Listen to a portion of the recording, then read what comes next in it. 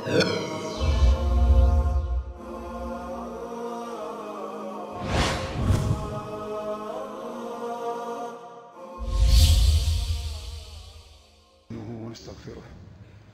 ونعوذ بالله من شرور أنفسنا ومن سيئات أعمالنا. من يهده الله فلا مضل له ومن يضلل فلا هادي له.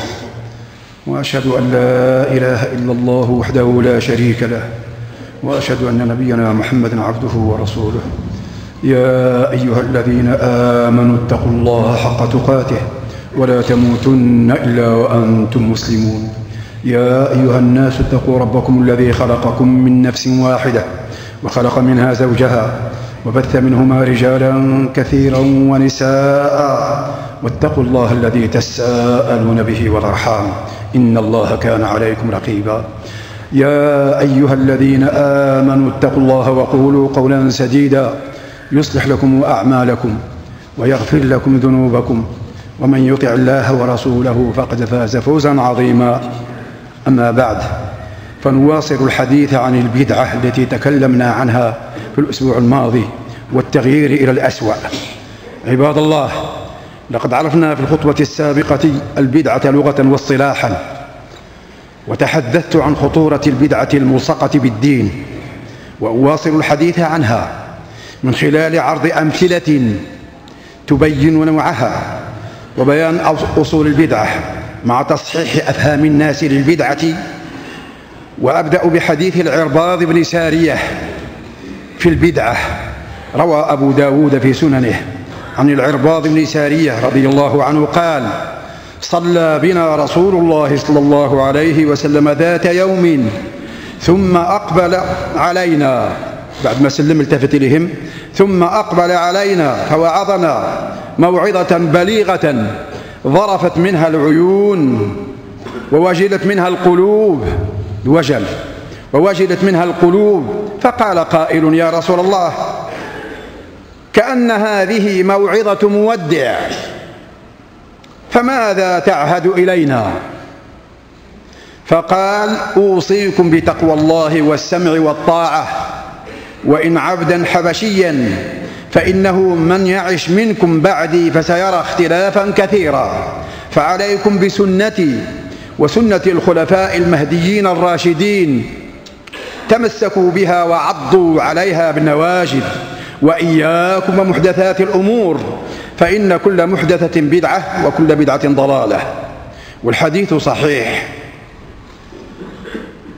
عباد الله سبق القول في الخطبة السابقة أن البدعة من جنس المعاصي وهي أخطرها لأن لها صفة التشريع الملصق بالدين كذبا عليه فإثمها أعظم وقل أن يتوب المبتدعة وقل أن يتوب المبتدعة. لأنهم يعتقدون أنهم يتقربون إلى الله ببدعتهم. والله يتقرب إليه بما شرع لعباده التقرب به إليه لا بما شرعه المبتدعة لأنفسهم مما ليس من الدين. إن أصول البدع أربعة. إن أصول البدع منين جاية؟ من أربعة ديال الفرق. أربعة. وإن تعددت الفرق لكن هذه أخطرها. إن أصول البدع أربعة. وسائر الفرقة الاثنتين والسبعين كما ورد في أحد الفرق إحدى وسبعين واثنتين وسبعين وثلاثة وسبعين بالنسبة لهذه الأمة. وسائر الفرق الاثنتين والسبعين فرقة عن هؤلاء الأربعة تفرقوا وتشعبوا. والفرق الأربع التي هي أصل البدع الخوارج الذين خرجوا على علي رضي الله عنه وهم يكفرون بالمعصية الكبيرة. من ارتكب كبيرة من كبائر المعاصي كفروه وحكموا عليه بالخلود في النار ويخلدون صاحبها في النار والروافض وهم فرقة من الشيعة رفضوا بيعة أبي بكر وعمر ولهذا يسبوهما وينتقصوهما. ويقولون ما لا يسمع فيهما. قبحهم الله. والقدرية هؤلاء ينفون القدر. ما كاين قدر. والقدر كما تعرفون وأصل سادس من أصول الإيمان. تؤمن بالله وملائكته وكتبه ورسله واليوم الآخر وبالقدر خيره وشره. من لم يؤمن بالقدر لم يؤمن بهذه الأصول كلها. لا يفرق بينها. قلت والقدرية وهم منكرو القدر والمرجئة. والمرجئة الذين يفصلون بين الإيمان والعمل. إلى عندك الإيمان كتأمن بالله والرسول لا تدير تا وحده. لا تصلي لا تصوم لا تزكي لا الحج لا خلاص. من قال لا إله إلا الله خلاص دخل الجنة. يعني ما عندهم غرض هذيك من قال لا إله إلا الله مخلصا من قال إلا صادقا من قال لله مخلصا يعني موقنا من قال لا إله إلا الله يبتغي به وجه الله من قال لا إله إلا الله وكفر بما يعبد من دون الله وهذه كلها قيود ديال لا إله إلا الله. ما عندهم غرض موضع قال لا إله إلا الله خلاص يعمل اللي يبغى سبحان الله سبحان الله. قلت الذين يفصلون بين الإيمان والعمل ويرون أن لا علاقة بين الإيمان والعمل. وهو قول مبتدع مخالف لما عليه كل علماء أهل السنة والجماعة. وبدع هذه الفرق الأربع وما تشعب أو ومن تشعب عنها كثيرة. أي البدع كثيرة. إن البدعة الملصقة بالدين وليست منه هي جناية عليه أي على الدين لما فيها من تلبيس الحق بالباطل وغش الناس في ترويج البدع باسم الدين ودعوتهم إلى الضلالة لا إلى الدين. وعلماء العلم الشرعي هم حراس الدين. علماء العلم الشرعي عبر التاريخ هم حراس الدين والأمناء عليه بعد نبيهم الذابون عنه الذابون عنه بالعلم الشرعي. فلا يجوز لهم السكوت عن البدع وأهلها كما لا يجوز لهم مناصرة المبتدعة. مناصرة المبتدعة. والرضا بما يفعلون وتقويتهم. لا يجوز لهم ذلك. أو التقليل, أو التقليل لا يجوز لهم التقليل من شأن البدعة. وهي تزاحم دين الله عز وجل. إما لتبعده وتحل مكانه وإما لتشوهه على أنها من الدين. كان يجب أن تكون فلم تكن وكأن الدين ناقص. والعياذ بالله. ومن البدع في الدين الرهبانية. الأمثلة الآن. ومن البدع في الدين الرهبانية ولا رهبانية في الإسلام. وهي التشديد على النفس. باش؟ بالانقطاع إلى العبادة. قال لك هو ما غادي يرتاح غادي ينقطع العبادة. ما انقطع أحد من عباد الله عن أمور الحياة للعبادة لأن الذي ينقطع للعبادة يحتاج إلى من يقوم بشأنه. لأن الحياة تحتاج إلى الحركة إلى العمل. فإذا كان يحتاج إلى من يقوم بشأنه فذاك الذي سيقوم بشأنه سيكون أفضل منه. إذا ما الفائدة بالعبادة المنقطع إليها؟ وإنما نجمع بين العبادة والطاعات والعمل. قلت وهي التشديد على النفس بالانقطاع إلى العبادة وحرمان النفس مما أحل الله لها. يحرم نفسه مما أحل الله لها. ومثل الرهبانية التبتل.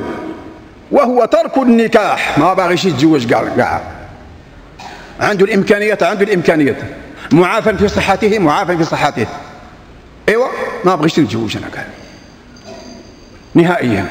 آه. اذا ربما تنظر إلى شيء آخر غير الزواج لأن الزواج تتبعه تكاليف. مسؤوليات. مسؤوليات. يعني معناه تقوم بشؤون الزوجة وتقوم بشؤون الأبناء إذا كانوا هكذا. وأنت لا تريد ذلك. وهل تعيش منقطعا عن النساء كلية؟ أم تنفتح على المعاصي؟ والعياذ بالله. قلت وهو ترك النكاح والانقطاع عن النساء بوسيلة الحلال وهي النكاح الشرعي. ومن البدع الملصقة بالدين تخصيص يوم خاص من رجب ونحن في أواخر شهر رجب. بعض الناس عندهم يخصوا أيام من رجب خاصة. للصيام والقيام. لم يثبت شيء في في رجب لا في الصيام ولا في القيام إلا أنك تصوم الاثنين والخميس نعم. أو ثلاث أيام المعروفة بأيام البيض من كل شهر عربي 13 و14 و15 هذه السنة الواردة في ذلك. أو تقضي الدين إذا كان عليك الدين. أما تخص يوما من رجب لصيامه وقيامه فهذه بدعة. قلت وهو بدعة منكرة لم يفعلها الصحابة ولا التابعون لهم بإحسان. وكذلك قيام ليلة النصف من شعبان. 15 شعبان قال لك هذا مزيان هذاك اليوم ديال الصيام وديال القيام. الأحاديث اللي ورد فيه ضعيفة. لم ترد به سنة مقبولة فهو بدعة ومن البدع في الصلاة. الآن البدع في الصلاة. كيف البدع في الصلاة؟ سنسمع. ومن البدع في الصلاة ابتداء صف جديد قبل إتمام الصف الذي قبله وهذا كتلاحظوه في صلاة الجماعة. الصف الأول ولا الثاني ولا الثالث باقي نقص والناس راهم قام وصف خرجي. هذا باقي في النصف ولا خرجي تبعه هذه بدعة. بدعة في إقامة الصفوف لا نقيم الصف الثاني إلا بعد تمام الأول. ولا ولا نقيم الصف الثالث إلا بعد تمام الثاني وهكذا. اللي دخل وشاف الصف جاء النص مشي يوصل إلى إلى ظهرت له بلاصه باقا في الآخر يمشي ليها. أما يبدأ صف جديد لا. والى متى نبقى نقول هذا الكلام؟ كأننا يلا سلمنا. يلا عرفنا الإسلام. مازال ما عرفنا والو. متى نعرف هذه الأحكام المتعلقة بهذه الفريضة العظيمة؟ فريضة الصلاة. سبحان الله. قلت ومن البدع في الصلاة ابتداء صف جديد قبل إتمام الصف الذي قبله. ومن البدع في الصلاة الجهر بالنية. بنية صلاة المغرب إن شاء الله. الله أكبر. يا سبحان الله. لمن تقولها؟ لمن تقولها؟ وأنت قد توضأت وأطيت وأتيت المسجد ناويا الصلاة. تدخلها في قلبك نعم. لا يسمعك أحد. لكن الله يسمع كل شيء ويرى كل شيء ويعلم كل شيء. خلاص. إذا إعلان النية بدعة. قلت ومن البدع في الصلاة الجهر بالنية والأذان والإقامة في صلاة العيدين والسنة لا لا يؤذن ولا تقام الصلاة. أي في العيدين.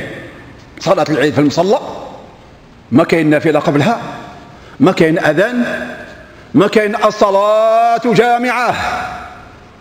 لأن هذه عبارة شميلة ونبه الناس وخاصة اللي بعد مثلا بعد في آخر المصلى. وربما أحيانا لا تغطى المصلى الواسعة بالأبواق من جميع الجهات. ممكن يكون الناس. ومع هذا لم يثبت عن الصحابة أنهم كانوا يقولوا هذه العبارات. قد حضرت الصلاة. بدعة. إلا لضرورة خاصة بحال الشكل إذا عرفنا وخبرنا شي حد على أن الصفوف الأخيرة ما وصلهاش ما كاينش الأبواق وما غادي يسمعوش. في هذه الحالة ممكن بالضرورة ولا تقام الصلاة ولا ينادى الصلاة جامعة أو قد حان وقت الصلاة يا عباد الله. ولا يبدأ قبل الصلاة بالخطبة. كنعرفوا أن في صلاة العيد كتبدأ الصلاة هي الأولى مش الخطبة. وإنما السنة الصلاة ولا ينادى إليها ولا يقال قبلها شيء. ومن البدع في صلاة الجماعة أن بعض المصلين لا يقوم إلى الصلاة إلا إذا قال المؤذن قد قامت الصلاة. بمعنى الناس بقاو جالسين وشافوا الإمام دخل والإمام وقف وربما بقى كتسوى الصفوف هما باقين جالسين والإمام واقف. أش كتسناو قال لك حتى قام الصلاة وحتى يوصل قد قام الصلاه عين وضوء. هذه من البدع أيضا. واش خصنا نديروا لما نشوفوا الإمام دخل جا للصف نوقفوا خلاص. إذا تأخر شي حد حتى قد قامت الصلاة ما كاين باس. لكن نكون أننا لا نتحرك إلا إذا قال المؤذن قد قامت الصلاة هذه من البدع. إذا لما نشوفوا الإمام دخل خلاص نوض الصف. لأنه علاش دخل؟ ما دخل باش يوقف يبقى واقف وحده والناس جالسين. دخل باش يبدأ في الصلاة إن شاء الله. قلت فالناس إذا رأوا الإمام عليهم أن يقوموا إلى الصلاة فلا ينتظرون شيئا والإمام حاضر واقف للصلاة. ومن البدع في صلاة الجماعة إحضار الصبية دراري صغار اللي مازال ما كيميزوش. ثلاث سنين وأربع سنين. ممكن يكون خمس سنين ولكن مش عامة. خمس سنين ممكن يكون يميز. يعرف بعض الأمور بمعنى عنده عقل تمييز وهذا يرجع إلى الفطنة إلى الذكاء أو إلى نوع من التعليم في البيت الوليد معلم عند والديه. أما واحد شارد ما عرفش وغافل ولا زال يميل إلا هو أكثر وما عرفش راه في المسجد ولا برا ولا بحال بحال يشوش على وليد على أباه في الصلاة ويشوش على الناس لا يجوز. إذا إذا كان ولا بد من ست سنين وسبع سنين الفوق ممكن إذا عرفنا أن هذا الوليد راه مزيان. بمعنى كيسمع ومولف وتيصلي معه باه في البيت مثلا. نعم. إذا هذه من البدع. علاش؟ لأن لو كل واحد يجيب وليد ديالو بهذا الشكل غادي نعمروا المسجد بالدراري وغادي يوقع الفوضى والفتنة. وهذا الشيء سمعناه وشفناه. وهذا وهذا لا يجوز. إذا كانوا لا يميزون لا صلاة لهم في هذه الحالة هؤلاء ما عندهم صلاة الآن. فهم يقطعون الصف إذا صفوا بين الكبار. هذه نقطة مهمة جدا وما يعرفها الناس ما تعرفوهاش الوليد الصغير اللي بهذا الشكل جد سنين ولا أربع سنين إذا وقفتوا في الصف بين الناس راه يقطعوا الصف. لا يتم به الصف. واسمعوا هذه مزيان وردوا لها البال الوليد صغير مازال ما تيميزش ثلاث سنين واربع سنين ما تيميزش هذا تيقطع الصف. ومعنى تيقطع الصف الصف كأنه غير موصول. بمعنى هو لا يتم به الصف ومن نودي على هذا الحرج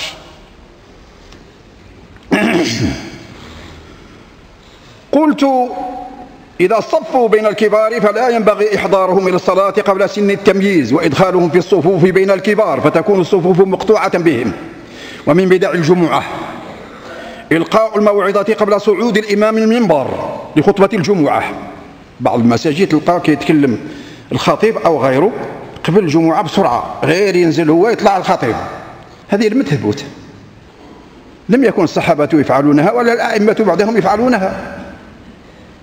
إلا إذا كان واحد الفرق. فرق كبير بين إلقاء الكلمة وبين الخطبة.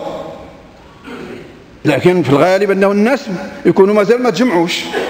ثانيا وهو, الأهم أن الناس يأتون لذكر الله وقراءة القرآن بما يستطيعون. ما نشوشوا عليهم بشي حاجة أخرى.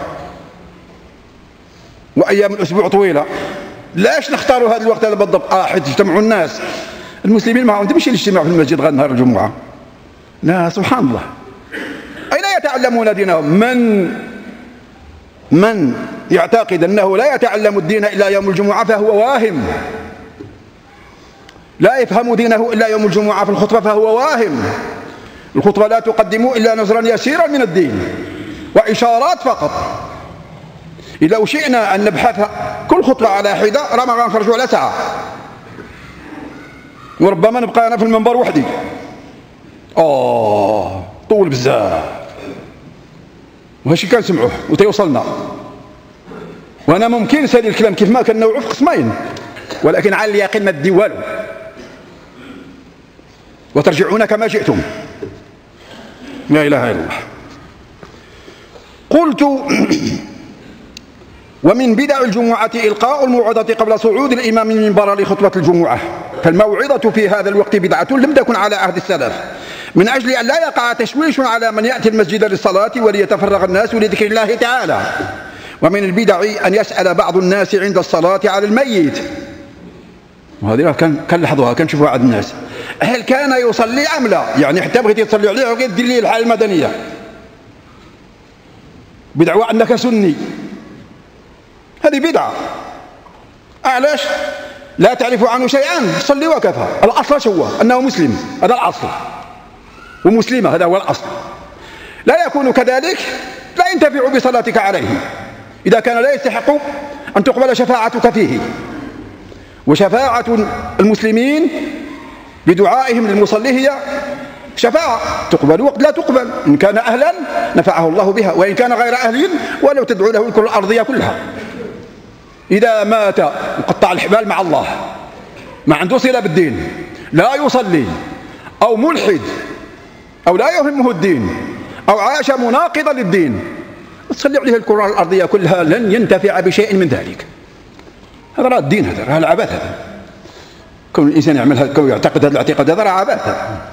قلت فالسؤال عنه في هذا الوقت بدعة فلا يسأل عنه. لكن من عرفه أنه كان يعرفه وما يقولش للناس من عرفه هو في حد ذاته. من عرفه أنه كان لا يصلي فلا يجوز أن يصلي عليه. ذكر كان أو أنثى لا سيما إذا كان تاركا للصلاة بلا عذر. لكن أنت كتعرف الأمر الحكم يتعلق بك أنت وحدك. وما عندك الحق تقول شي حد. ما تصليوش عليه ما كيصليش. لا مش شغلك. انت اللي عرفته اي نعم. لا يجوز لك أن تصلي عليه وأنت تعرفه أنه لا يصلي تماما. ومن البدع المصافحة بعد السلام. السلام عليكم ورحمة الله. المصافحة. لم تثبت. وانت دخلت ربما جيت الداويه قاعد. دخلت انت وياه مرة. وبعد السلام السلام عليكم. صافحه ويصفحك لا لم تثبت. فهي غير مسنونة عباد الله.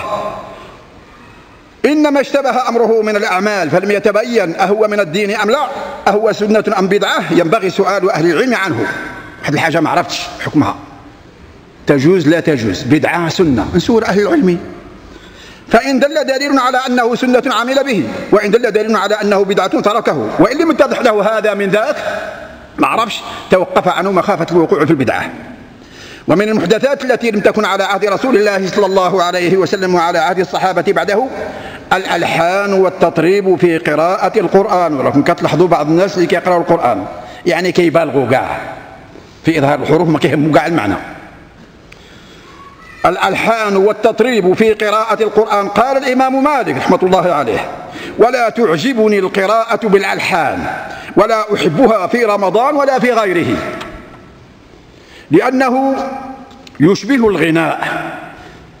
ويقال فلان أقرأ من فلان وبلغني. هذا كله كلام ديال الإمام رحمة الله عليه. وبلغني أن الجواري يعلمن الغناء. البنية صار أترى هذا من القراءة التي كان يقرأ بها رسول الله؟ هذا سؤال. أترى هذا كان من القراءة التي كان يقرأ بها رسول الله صلى الله عليه وسلم؟ كل هذا كلام الإمام مالك. انتهى. قال إبراهيم النخعي وهو أحد التابعين كانوا يكرهون القراءة بالتطريب وكانوا إذا قرئ القرآن قرأوه حدرا مرسلا بحزن. كي تيبان من القارئ أنه يخاف الله ومتبع القرآن. وقال محمد بن سيرين من تابع أيضا أصوات القرآن محدثة بالشكل اللي سمعتم. هذا في آخر القرن الأول والثاني وما بعدهما. فماذا يقال في هذا العصر؟ إذا كان هذا في القرن الأول أو القرن الثاني الهجري أنتم سمعتم. فماذا يقال بعدهما؟ وقد صار بعض المهوسين بالنغم الموسيقي والمقامات الموسيقية ينادون بقراءة القرآن بالمقامات. وهذه البدعة ظهرت هذه سنوات وهي بدعة منكرة تجعل قراءة كتاب الله خاضعة لمقامات وضعية وإيقاع وضعي. يتحكم في قراءة كتاب الله تعالى كالأغاني الملحنة كالأغاني الملحنة. والتحكم في قراءة القرآن بهذه الوسيلة داخل في بدعة إقامة حروفه دون الاهتمام بمعناه والخضوع لأحكامه وإقامتها على الوجه الشرعي. وماذا يقال في الأمسيات القرآنية؟ والإنشادية إنه تطريب وتباري الأصوات وتحقيق المقامات. وإنا لله وإنا إليه راجعون. نرجو الله أن يفتح بصائرنا. وينور سرائرنا ويأخذ بأيدينا الحق ويحبب إلينا السنة ويبغض ويكره إلينا البدعة وأن يحفظنا من كل شر. إنه على كل شيء قدير وبالإجابة جدير. أقول قولي هذا وأستغفر الله لي ولكم ولسائر المسلمين. والحمد لله رب العالمين. الحمد لله رب العالمين. خالق العباد أجمعين. أشهد أن لا إله إلا الله وحده لا شريك له ولي المتقين والصالحين وأشهد أن نبينا محمدا عبده ورسوله إمام الصالحين المتقين صلى الله عليه وعلى آله الطيبين الطاهرين ورضي الله عن صحابته أجمعين وعن التابعين لهم وتابعيهم بإحسان إلى يوم الدين أما بعد فيا أيها المسلمون لا يستغرب ما صار إليه الناس اليوم من البدع وتغيير معالم الدين بالنقص منه أو بزيادة فيه ما ليس منه. حتى ممن ينتسبون إلى الثقافة الشرعية. قال ابن شهاب الزهري وهو شيخ الإمام مالك وهو من التابعين دخلت دخلت على أنس يحكي ابن شهاب دخلت على أنس بن مالك بدمشق عاصمة سوريا. وهو يبكي. فقلت له ما يبكيك؟ قال ما أعرف شيئا مما أدركت الناس عليه إلا هذه الصلاة وهذه الصلاة قد ضيعت. القرن الثاني الهجري ابن شهاب توفي سنة 124 للهجرة. ودخلت على أنس بن مالك. أنس بن مالك تأخرت وفاته. 92 أو 93 بعد ما عاش أكثر من 100 سنة. أنس بن مالك. يبكي ويقول يحكي وهو في دمشق. يقول ما أعرف شيئا مما أدركت الناس عليه إلا هذه الصلاة وهذه الصلاة قد ضيعت. ربما ما ضيعت كلها وإنما ضيعت أركانها أو ضيعت مثلا ضيعت سننها أو واجباتها. المهم لحقها الضياع. وفي لفظ آخر عنه قال ما كنت أعرف شيئا على عهد رسول الله صلى الله عليه وسلم إلا وقد أنكرته اليوم. ما كنت أعرف شيئا على عهد رسول الله صلى الله عليه وسلم إلا وقد أنكرته اليوم. كنشوفوا مش هو هذاك هذا هذا كلامه. أنس رضي الله عنه. وقال الحسن البصري سأل أبا الدرداء رجل. رجل سول أبا الدرداء. أبا الدرداء من الصحابة. سولوا واحد واحد من الناس.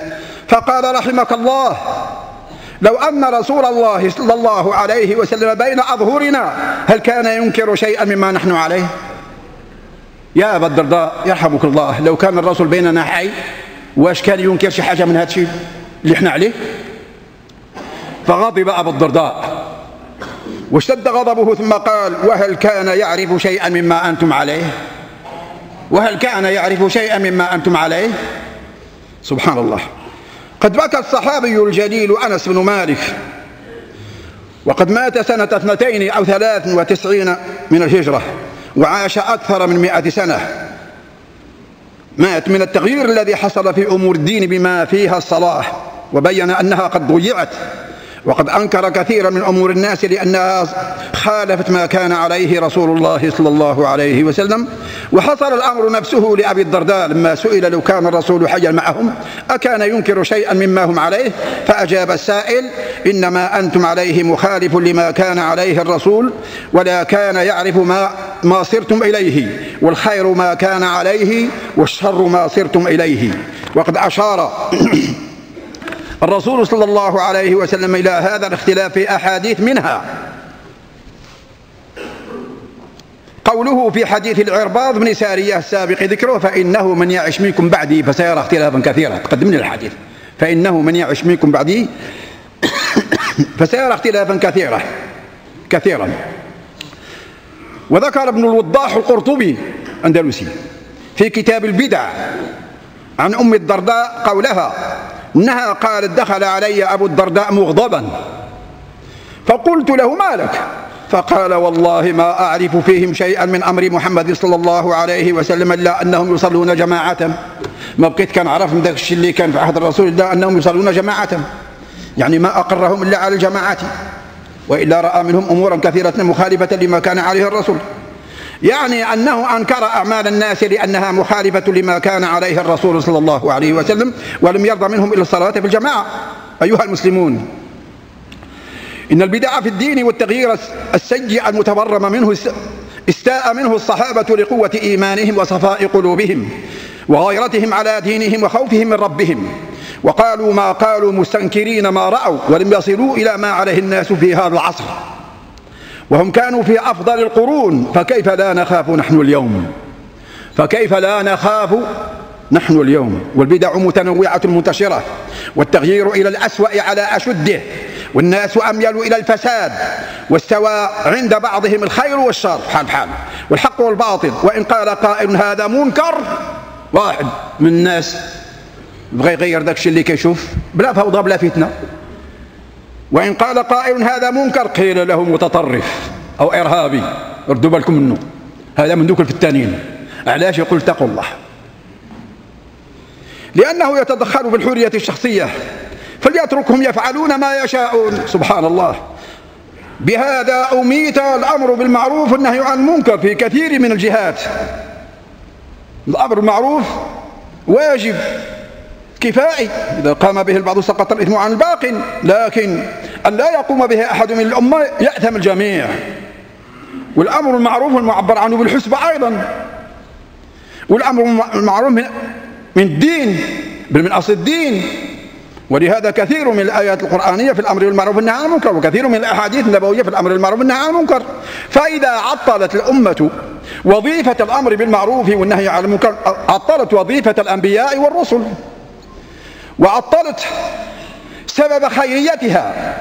في قوله تعالى كنتم خير أمة أخرج للناس تأمرون بالمعروف وتنهون عن المنكر وتؤمنون بالله. ولتكن منكم أمة يدعون إلى الخير ويأمرون بالمعروف عن المنكر وأولئك هم المفلحون. مروا بالمعروف عن المنكر في الحديث. لا إله إلا الله. وقد قلت سابقا هذا أسلوب من أساليب من أساليب التطبيع. شوفوا شو مش شغلك هذا أسلوب من أساليب التطبيع بين المعروف والمنكر. لا يفهم أحد من كلامي أنني آمر بالفوضى أو الفتنة لا أبدا. المسلمين أهل حق. في يدهم كتاب الله وسنة رسول الله كيف يكون عندهم الفوضى ولا الفتنة ولا ولا المضربة ولا القتلى ولا لا لا لا. الأمر المعروف ما كيكون بهذا الشكل. سبحان الله. قلت من أساليب التطبيع بين المعروف والمنكر والخير والشر والحق والباطل. التطبيع بينهم. شي بس ما كاين والصلاح والفساد والإصلاح والإفساد. وقد تكلمت عن هذا المعنى في خطب سابقة. وهو مسلك يقود الناس إلى الهاوية ولا منقذ إلا الله ونبرأ إلى الله من كل ذلك. إن الشرع اليوم في أرض الله معطل في كثير من أمور الحياة. هذا هو الواقع. إن شرع الله في كثير من أرض الله في بلاد المسلمين أنا لا أتكلم على البلاد الأخرى في بلاد المسلمين معطل في كثير من أمور الحياة وقد اعتاض الناس عوضوا يعني وقد اعتاض الناس فيها عنه العشرة بأفكارهم وآرائهم ومذاهبهم وغيروا كثيرا من معالم الدين. وصارت السنة في رأي بعض الناس بدعة وصارت البدعة سنة فتقام البدع وتمات السنن يرحب بالجهلة والمتسيبين والمبتدعة ويتشاءم وينفر من أهل العلم والمروعة والصلاح. ولكن الناس لا يعلمون أن الأرض إذا انزاحت عنها انزاحت عنها بعض تعاليم الدين صارت حياتهم في عناء وشقاء وإن طوروا أساليب عيشهم وكثر المال في أيديهم فلا اطمئنان لهم ولا قلاعة بما في أيديهم ولا بركة في مالهم. والسبب تعطيل الدين وتغييره والانحراف عنه. والله يغضب إذا انتهكت حرماته. فليحذر الناس غضب الله وانتقامه وليحافظوا على دينه وليتوبوا إليه نادمين. اللهم إنا نستغفرك ونتوب إليك من كل ذنب. فتب علينا إنك أنت التواب الرحيم. وارحمنا أحياء وميتين ولا حول ولا قوة إلا بالله. العلي العظيم. اللهم صل على محمد وعلى آل محمد كما صليت على إبراهيم وعلى آل إبراهيم. اللهم بارك على محمد وعلى آل محمد كما باركت على إبراهيم وعلى آل إبراهيم إنك حميد مجيد. وارض اللهم عن الخلفاء الراشدين أبي بكر وعمر وعثمان وعلي وعن السته الباقين من العشرة المبشرين بالجنة وعن سائر الصحب أجمعين وعن التابعين لهم بإحسان إلى يوم الدين. اللهم ارفعنا بمحبتهم واجعلنا على آثارهم ولا تخالف بنا عن نجيم وطريقهم يا أكرم مجيب ويا خير مستجيب. ووفق اللهم الملك محمد السادس لما تحب وترضى. اللهم اري الحق حقا وارزقه اتباعه واريه الباطل باطلا وارزقه اجتنابه. ووفقه لكل خير وأعينه عليه وأصلحه واصلح ولي عديهم ولا حسن وأنبت نبات حسنه اللهم أصلح أحوالنا اللهم أصلح أنفسنا اللهم أصلح أرواحنا اللهم أصلح بنا وعلى أيدينا وكلنا وليا ونصيرا. اللهم, اللهم أصلح أزواجنا وأبناءنا وبناتنا وولاة أمورنا وكلنا وليا ونصيرا. واهدنا صراطك المستقيم ووفقنا لما تحب وترضى. وخذ بأيدينا إلى الحق وانصرنا على أنفسنا وأهوائنا وشياطيننا. إنك على كل شيء قدير. ربنا ظلمنا أنفسنا وإن لم تغفر لنا وترحمنا لنكن من الخاسرين. ربنا آتنا في الدنيا حسنة وفي الآخرة حسنة وقنا عذاب النار. سبحان ربك رب العزة عما يصفون. وسلام على المرسلين والحمد لله رب العالمين.